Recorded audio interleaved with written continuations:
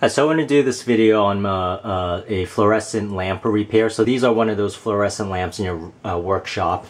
And the lamp I have has those uh, one inch, four foot uh, light bulbs, fluorescent light bulbs. So it stopped working one day. It was it was buzzing, um, and it, it, was making a weird buzzing noise. And all of a sudden the lamps didn't work, and I figured it was the light bulbs uh, change the light bulbs and it turns out it's more than light bulbs.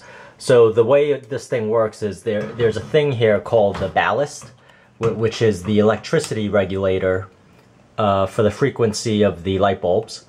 And uh, this, this thing is all one unit. It's the main unit of the uh, fluorescent lamps. And it, it, was hooked in like this. Usually it's just in the middle. So it, it was encased in the middle.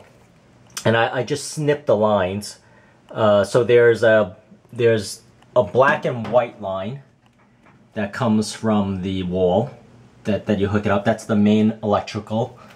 Um, so you'll, you'll notice here on the ballast there's also a, a, black and white line. So that's where the main electricity hooks up to your house. Um, and then there's one red line and two blue lines. So you're going to have to replace this whole unit if, if you figure out uh, that that's what the issue is. And this unit cost about $15. Uh, so I, I, found the replacement, a Philips or a GE replacement at Home Depot. Um, and, uh, you know, you, you want to make sure that the megahertz is right and the voltage is right. So here I have a 120 volt and a 120 volt uh, 60 hertz.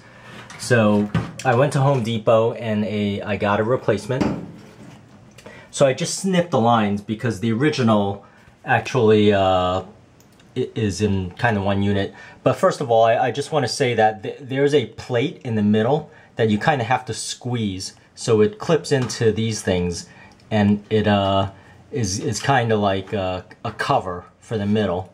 So when you, you kind of have to squeeze that and uh, kind of uh, have it come out. It, it doesn't take uh, a lot of uh, strength to do it. it. It's just a slight squeeze and then you unclip the bottom.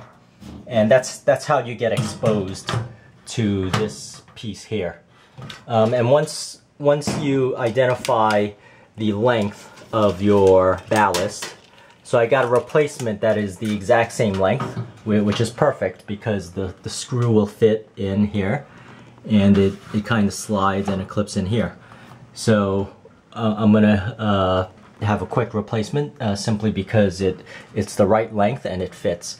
So uh, remember I, I did buy one with the correct megahertz so you'll notice uh, on this side it is uh, 50 hertz to 60 hertz and then there's the type of light bulbs that it kind of supports. So um, just make sure you get those specs, but uh, after you do that, you simply expose the wires, uh, connect them, and there you go. Uh, they're color-coded, uh, black, white, and then two blues and a red, so uh, it's not like you can mix it up.